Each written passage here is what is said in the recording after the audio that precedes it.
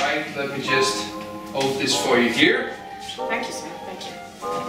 Now let me see if I can prove this with a little water. Well, I'll just put my bourbon and avocado down here. Like Won't this. Oh, keep you moving, sir. What did they call you around here? Jeevesy? Grady, sir. Delbert Grady. Grady. Yes, sir. Delbert Grady.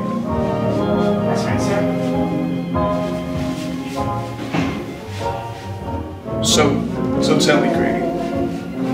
Haven't I seen you somewhere before? No, sir. I don't believe so.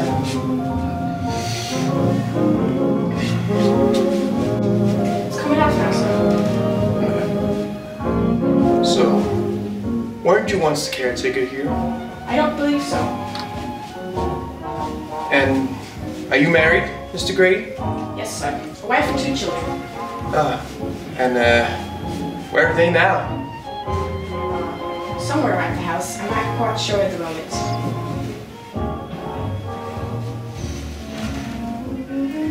You were the caretaker here, Mr. Grady. I uh, saw your picture in the newspaper. You chopped your wife and daughter into pieces, and blew your brains out. Strange, sir. I don't have any recollection of that. Mr. Grady, you were caretaker